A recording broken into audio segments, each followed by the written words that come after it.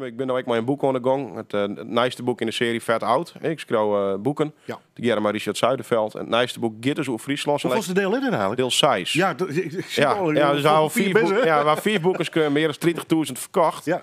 En we zijn nu bij eh, deel 6 aan de gang.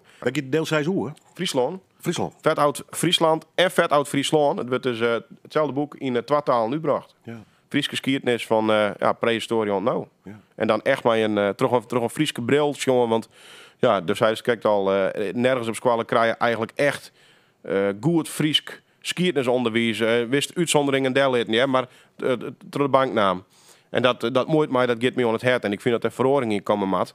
En dan haast ik nog het feit dat eigenlijk is het grootste pad van die skiertnis kreun is toch oren. He, ik ben, helemaal net zulke scrowers. Dus dan krijg je dat bijvoorbeeld de Franken, oer de Friesen scrowen. En dat als het wieren verhaal de skiertnisboeken ingeet. Zit natuurlijk altijd nog een filter, Terwijl- terwijl- filter op, hè? Van, van Ja, eh, wat zit- vertel je Er eigenlijk? zit gigantische, gigantische nuance nog. eh, dus ik vind dat het ook eens een keer mij usbril bezonnen worden mat. En verteld worden mat. En dat geven we aan.